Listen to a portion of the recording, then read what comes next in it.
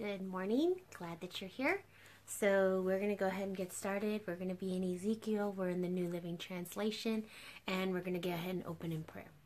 Lord, I just thank you for today, and I thank you for um, those that'll hear, that'll listen, that'll share.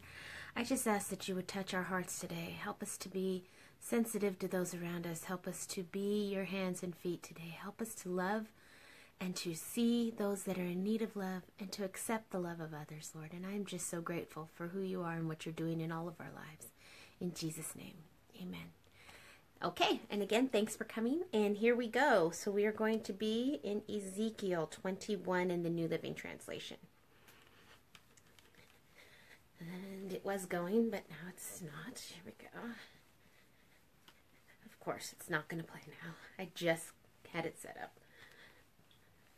And there it goes. And here. Unbelievable.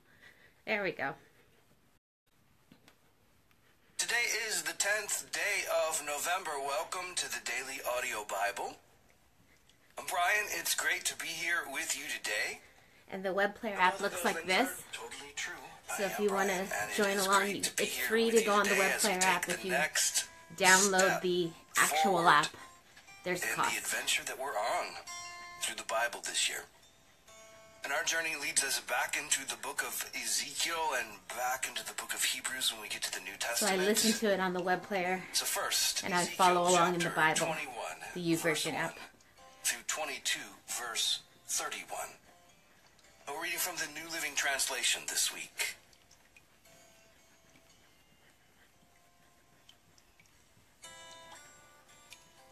Then this message came to me from the Lord Son of man, turn and face Jerusalem and prophesy against Israel and her sanctuaries. Tell her, This is what the Lord says I am your enemy, O Israel, and I am about to unsheath my sword to destroy your people, the righteous and the wicked alike. Yes, I will cut off both the righteous and the wicked. I will draw my sword against everyone in the land from south to north. Everyone in the world will know that I am the Lord. My sword is in my hand, and it will not return to its sheath until its work is finished. Son of man, groan before the people. Groan before them with bitter anguish and a broken heart. When they ask why you are groaning, tell them, I groan because of the terrifying news I have heard. When it comes true, the boldest heart will melt with fear. All strength will disappear. Every spirit will faint. Strong knees will become as weak as water. And the sovereign Lord says, It is coming. It's on its way. Then the Lord said to me, Son of man, give the people this message from the Lord. A sword, a sword is being sharpened and polished. It is sharpened for terrible slaughter and polished to flash like lightning. Now will you laugh? Those far stronger than you have fallen beneath its power.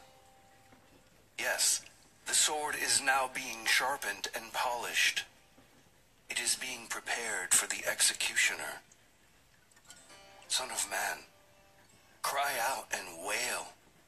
Pound your thighs in anguish, for that sword will slaughter my people and their leaders. Everyone will die. It will put them all to the test. What chance do they have? says the sovereign Lord. Son of man, prophesy to them and clap your hands. Then take the sword and brandish it twice, even three times, to symbolize the great massacre. The great massacre facing them on every side. Let their hearts melt with terror, for the sword glitters at every gate. It flashes like lightning and is polished for slaughter. O sword, slash to the right, then slash to the left. wherever you will, wherever you want.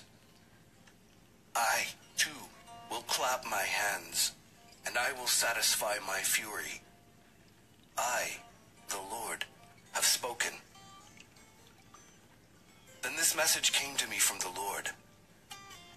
Son of man, make a map and trace two routes on it for the sword of Babylon's king to follow. Put a signpost on the road that comes out of Babylon where the road forks into two.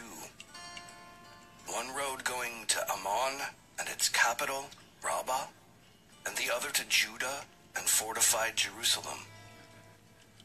The king of Babylon now stands at the fork, uncertain whether to attack Jerusalem or Rabbah. He calls his magicians to look for omens. They cast lots by shaking arrows from the quiver. They inspect the livers of animal sacrifices. The omen in his right hand says, Jerusalem. With battering rams, his soldiers will go against the gates, shouting for the kill. They will put up siege towers and build ramps against the walls. The people of Jerusalem will think it is a false omen because of their treaty with the Babylonians. But the king of Babylon will remind the people of their rebellion. Then he will attack and capture them. Therefore, this is what the sovereign Lord says. Again and again you remind me of your sin and your guilt. You don't even try to hide it. In everything you do, your sins are obvious for all to see. So now the time of your punishment has come. So this is just like if you have children and they're not listening and they're not following direction and they are literally just showing you all the wrong things that they're doing. What good parent would allow that to go on? What good parent wouldn't guide and direct their child in the way they should go? The people of God, the Israelites, are completely against everything that God has taught them and put in their hearts. And so God is going to have to punish them, going to have to discipline them because He loves them, because He wants to redirect them. And it's the same with our kids, and it's the same with us today.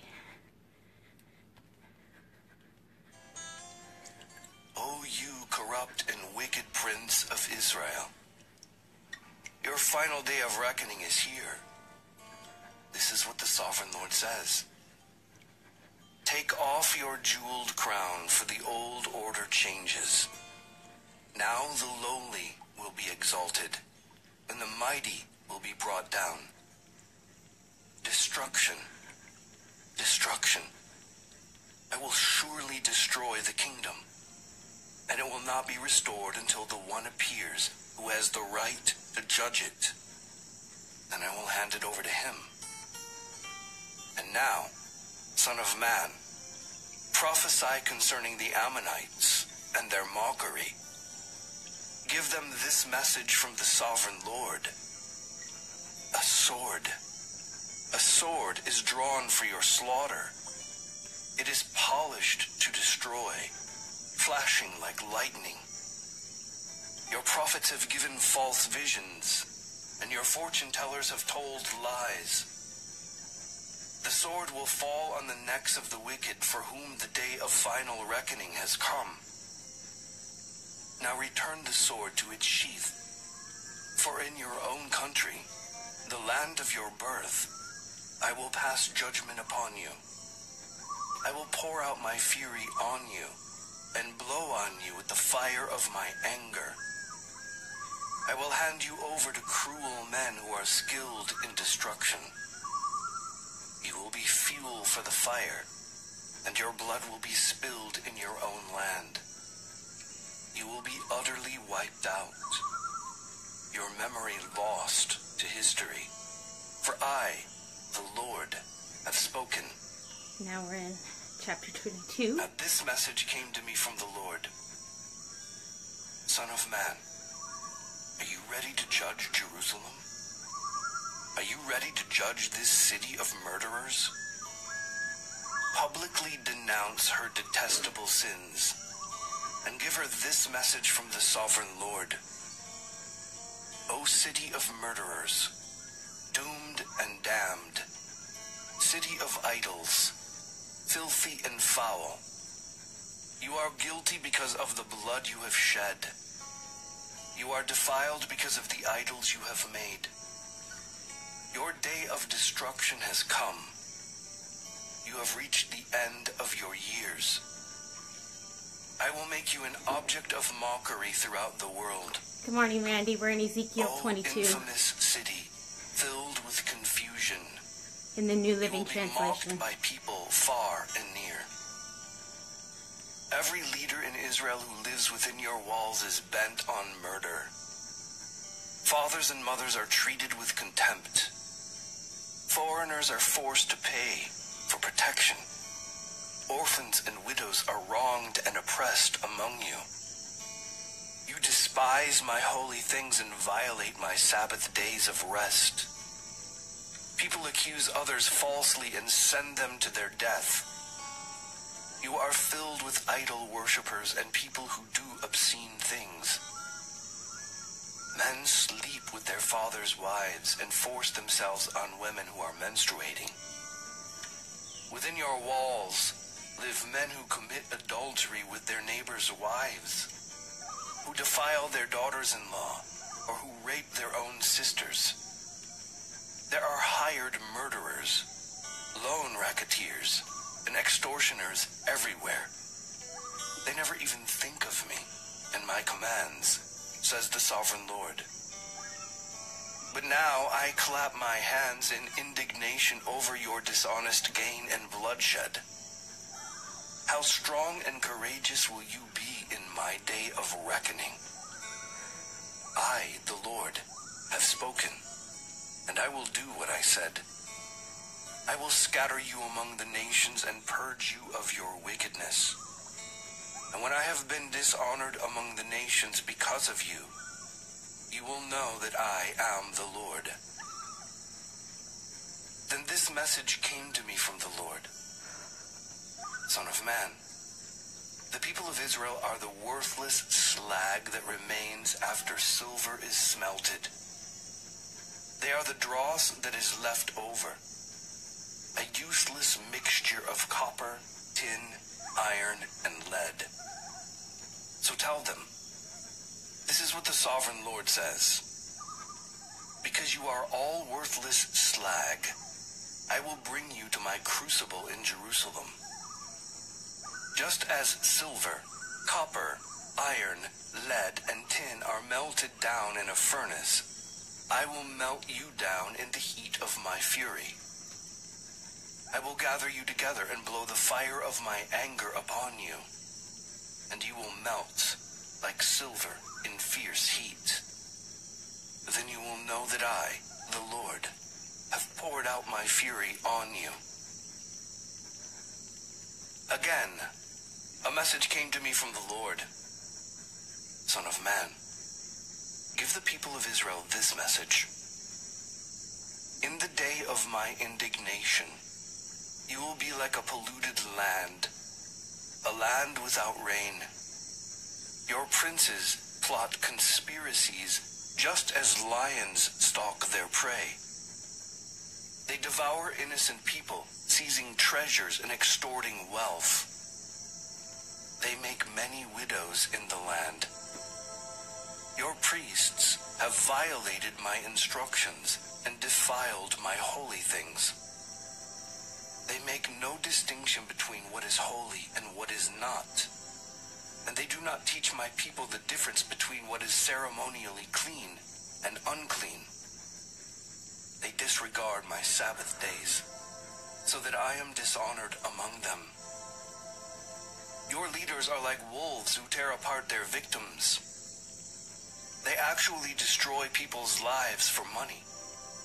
And your prophets cover up for them by announcing false visions and making lying predictions.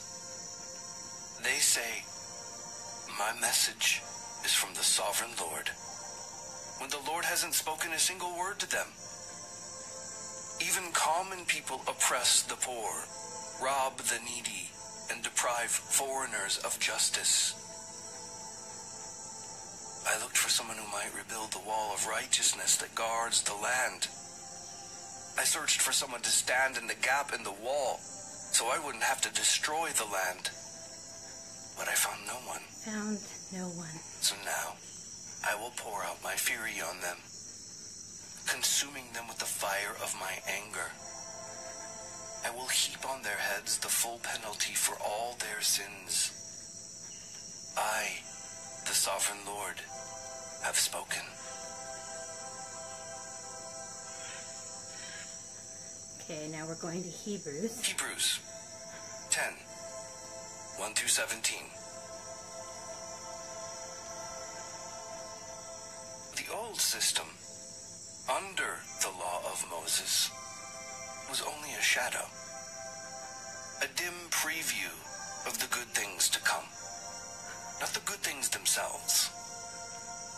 The sacrifices under that system were repeated again and again, year after year, but they were never able to provide perfect cleansing for those who came to worship. If they could have provided perfect cleansing, the sacrifices would have stopped. For the worshippers would have been purified once for all time, and their feelings of guilt would have disappeared. But instead, those sacrifices actually reminded them of their sins year after year. For it is not possible for the blood of bulls and goats to take away sins. That is why, when Christ came into the world, he said to God, You did not want animal sacrifices or sin offerings, but you have given me a body to offer. You were not pleased with burnt offerings or other offerings for sin. Then I said, Look, I have come to do your will, O God, as is written about me in the Scriptures. First, Christ said, You did not want animal sacrifices or sin offerings or burnt offerings or other offerings for sin, nor were you pleased with them, though they are required by the law of Moses. Then he said, Look, I have come to do your will. He cancels the first covenant in order to put the second into effect. For God's will was for us to be made holy by the sacrifice of the body of Jesus Christ once for all time. Under the old covenant, the priest stands and ministers before the altar day after day, offering the same sacrifices again and again, which can never take away sins. But our high priest offered himself to God as a single sacrifice for sins, good for all time. Then he sat down in the place of honor at God's right hand. There he waits until his enemies are humbled and made a footstool under his feet. For by that one offering he forever made perfect those who are being made. Those are us who ask for And the Holy salvation and Spirit forgiveness also of our sins. testifies that this is so. For he says, This is the new covenant I will make with my people on that day, says the Lord. I will put my laws in their hearts, and I will write them on their minds. Then, Then he he says, says, I will, I will never never again remember remember their sins and and lawless, lawless deeds. deeds. We are forgiven. And then we go to Psalms. Psalm 108, a song, a psalm of David. My heart is confident in you, O God. No wonder I can sing your praises with all my heart. Wake up, lyre and harp. I will wake the dawn with my song. I will thank you, Lord, among all the people. I will sing your praises among the nations, for your unfailing love is higher than the heavens. Your faithfulness reaches to the clouds. Be exalted, Be O God, exalted, O God, above the highest above heavens. the highest heavens. May your glory shine May your glory shine over all the earth. Now rescue your beloved people. Answer and save us by your power. God has promised this by his holiness. I will divide up Shechem with joy. I will measure out the valley of Succoth. Gilead is mine, and Manasseh too. Ephraim, my helmet, will produce my warriors, and Judah, my scepter, will produce my kings. But Moab, my wash basin, will become my servant, and I will wipe my feet on Edom, and shout in triumph over Philistia. Who will bring me into the fortified city? Who will bring me victory over Edom? Have you rejected us, O God? Will you no longer march with our armies? Oh, please help us against our enemies, for all human help is useless. With God's help, With God's help, we, we will, do mighty things, For he, for he will will trample down our foes. foes. And then Proverbs.